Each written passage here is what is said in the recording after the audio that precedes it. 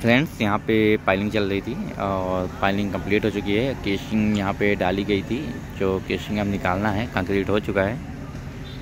तो कंक्रीट करने के थोड़े समय बाद यहाँ पे केशिंग निकाल ली जाती है, क्योंकि बाद में केशिंग निकालना मुश्किल हो जाएगा। तो यहाँ पे अभी केशिंग निकालने का काम चल रहा है।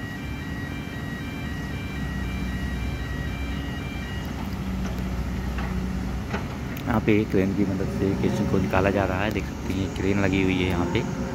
एक क्रेन खड़ा हुआ है, इसके पीछे रिग मशीन खड़ा हुआ है। रिग मशीन से केसिंग को पंच किया जाता है और यहाँ पे देख सकते हैं, यहाँ पे केसिंग को निकाला जा रहा है।